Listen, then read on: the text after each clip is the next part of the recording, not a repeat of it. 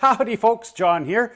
In today's video, I'm going to be showing you how to change a LiPo connector on a LiPo battery safely. Now, the usual two reasons that force you to change a connector on a LiPo are one, the connector gets worn out from usage, you know, carbon pitting, it gets loose, whatever the reason. Or two, your new battery doesn't come with the uh, right connector that uh, you primarily use, which is exactly the case with these new Gens Ace packs I just purchased. As you can see, they come with an EC5 connector, and I like uh, XT90 connectors for uh, this current rating. So just thought while I'm changing these connectors, I would cover the process as it's something I get asked about often. Let's get started. Now this has nothing to do with changing the connector, but whenever I get a new LiPo pack, which is the case here, I just want to make sure it's the exact one that I ordered. And yes, it is. And I also like checking the um, storage voltage that it was shipped in, just to make sure everything's good. Gens Ace are always on the mark. 49% uh, storage state, perfect. You know, all the cells are nicely balanced up. So we're looking good there. Now I have several videos on uh, changing different connector types and they can all be accessed through my RC battery connector page on my website.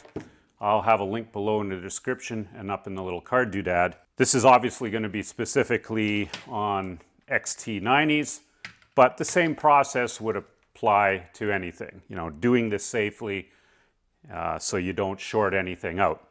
So EC5s are kind of a bugger to uh, get the pins out. I drive them out with a punch. Now you could cut the wiring off, that's always an option. Just make sure if you do, you only do one at a time. Obviously, if you were to cut both at the same time, you would have yourself a nice little in-hand arc welder. And yeah, you'll learn some new language when you do it. So if you are going to cut them, just do one at a time. I don't like cutting them for two reasons. One, you're shortening the length a little bit. Granted, it's not much, but guys, we have a thing about length, right? But primarily the reason is if you cut them, you're going to have to retin them. And as most know, this high flex silicone wire, it's not the nicest stuff to tin. It's easy to tin. It's just that it takes so much bloody solder because it's got the angel hair strands of wire in there and they just make an ideal solder wick. So if you don't have to retin it, I, uh, I find that just easier. Now there's numerous ways to get the pins out of an EC5. Now some people will heat the inside of the bullet up with a soldering iron tip to soften the plastic a little bit. They'll come out easier that way. But uh, I just use a drift punch and you know I just support it on some wooden blocks, whatever you want to use, and then just give it a hammer Now, whatever you do, just do one at a time. You could knock the other one out, but before you do, you would want to insulate this one with heat shrink or electrical tape, just so there's no possibility the two can connect. You know, even right now, there is a bit of a short potential if this was to accidentally go in there. So uh, use whatever method you want to keep this completely safe so there's no possibility that you can short these out. What I'm going to do is just put a little bit of masking tape over here just to ensure that there's no way this can touch. I'm just going to quickly cover what you're going to need to uh, resolder a connector onto a battery. You're going to need, of course, a soldering tool. Now, if you don't want to spend much money, one of the best tools, in my opinion, for LiPo connectors is a Weller soldering gun. This is the 8200. They've been replaced, I think, by the 9400 or whatever. But the primary thing is you've got 140 watts of power because you're not going to solder big wire and big connectors like this with a little $20 40 watt soldering iron. It's just not going to happen. They pull too, way too much heat. So you need something that's got fairly high wattage. So these are cheap and they work great. I'm actually going to be using my T12 soldering iron. I've done several reviews on these. These are awesome little soldering irons. They cost a little bit more than a gun, but they do a lot more because you can also do circuit board work with them. Now, of course, the little tip is not going to work. There's just not enough thermal mass or contact area there to do a big heat sucking wire and connector. So I'm going to be using a D4 tip. Just means the tip is four millimeters in width. This is a wedge tip. And I'm probably going to have my uh, soldering station here set at 400 degrees Celsius. So pretty high because it's going to be pulling a lot of heat. And then for the solder, I'm a bit of a Kester fanboy, 6040. That's all I've used both professionally and in the hobby. Now use whatever method you want to hold the wire. If you wish, you can hold it by hand. It's just easier having something to hold it with. I'm just holding it with the little helping hand things here. Now what you're going to want to do, just holding a dry iron tip onto here, you could be holding it on all day. It's not going to melt. You're going to need some solder on here to help conduct heat into the uh, bullet pin and the wire to melt the solder to get this bullet off. And plus they use, you know, non-leaded solder. So it, uh, putting some leaded solder in just helps it flow a little bit better.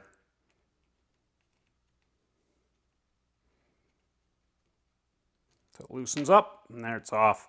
So now you've got a nice tinned end that you don't have to retin. I'm just going to apply some more leaded solder on here right now just to get it nicely saturated. Now again, using your connector of choice. Again, these are XT90s, but if you were doing this with any other connector, same kind of process follows. I have um, the opposite sex connector, a male in this case, since we're doing the female ends for the battery. And I insulate the two ends and I just hold them in a little metal vise. You want something that holds it really secure. So whatever method, I just use this and make sure you get your polarity right. So XT90s are marked. There's a positive. I don't have autofocus turned on here, a negative, so we want to do the positive. So I'm just going to mount that in there, and then we will plug this in with the positive orientation up. And then the little insulating pin that goes on the end, we're just going to slide that over the battery cable. And as I've said in my other soldering videos, 75 to 80% of a soldering job is in the tinning. We've already got the hardest tinning job already done, which is the wire. Again, why I don't like chopping the ends off if I don't have to. And then I'm just going to fill the pin up here with some solder. This is tinning the inside of that pin. Not too much, you know, maybe a third full, quarter full. Just make sure it gets nice and deep inside there. Now I'm going to put another little dollop of solder on the tip. Again, having wet solder on the tip when you apply it, it allows heat to migrate into the component you're soldering. Just makes it go a lot quicker. And we'll just hold that on the wire and let the heat migrate from the wire into the connector pin and it'll just sink in and then push forward. Hold it nice and still. We've actually got a little bit of solder on the bottom here. I don't like seeing that. I'm to just tag that off.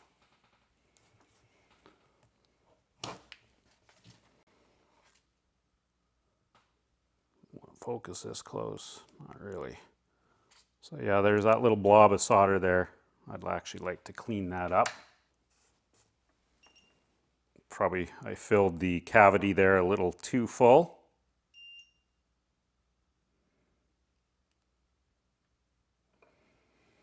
And if you notice the solder is getting stringy, you know, put some more solder on or put some flux on to help it flow better. But you want to see a nice shiny connector when it's done. You know, you've got good heat migration, good tinning, so it's a nice mechanically solid connection. And again, just confirm that your polarity is right, positive red wire. Now we'll do the negative. So again, I want to keep the short potential as low as possible, so I'm just going to snap the insulating end over that exposed pin on the connector. If you didn't have this type of connector, you would just wrap it with something to keep it from shorting.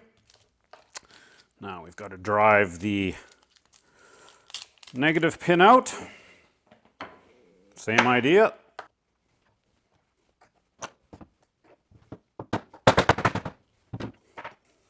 Remove the bullet pin off the wiring.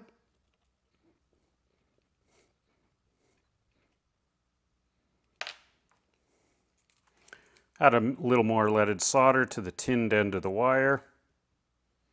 So now we've got a relatively high short potential because I've got to remove this insulated end to, of course, put over the um, black wire. That's actually why I kind of like heat shrink ends over these snap connectors, but uh, yeah, it's okay if you just take a little precaution. So I'm just going to wrap just a little bit of tape over that exposed positive just to make sure there's no chance that this can touch it.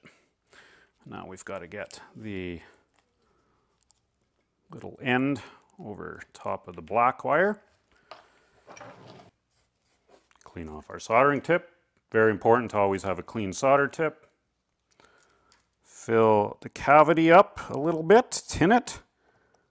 Maybe not as much as last time, seeing that there was a little too much and it flowed out. Make sure your wires aren't twisted coming out of your battery pack. So we've the black ones at the top, red ones at the bottom. Everything looks good. Just gonna get a little, clean the tip again A little solder on the tip, help with conducting the heat into the wire. And there, it just fell in. Push the wire forward, hold it nice and still. You want to see that solder stay nice and silver. If it turns dull gray, likely means there was some mechanical movement in there and you've got a cold and brittle solder joint. Reflow it if you have to. Now let's just take a look at this real close. No drooped solder. Nice flow work there. Confirm negative, black, positive red. We'll plug in our end insulator. And that is how you change a connector on a battery, whether you're replacing one that's worn out, or if you get a pack that doesn't come with your connector of choice. And that's why I mention on my uh, website, you know, soldering is one of the most useful skills you can learn in this hobby. It gives you a lot more battery options. If you're forced to buy batteries with a specific type of connector, it just, it limits options, right? So this easy little task enables me to still use XT90s on these specific Gens Ace packs, which only are available with um, EC5s. And if you want to know why I like XT90s more than EC5s, I explain it on my RC connector page. I actually lost a um, Black Shark 700 F3C fuselage due to hidden pitting in an EC5 connector. That's why I switched to XT90s and have been so happy with them since. Thanks for watching, folks, and until next time, Happy LiPo connector replacement.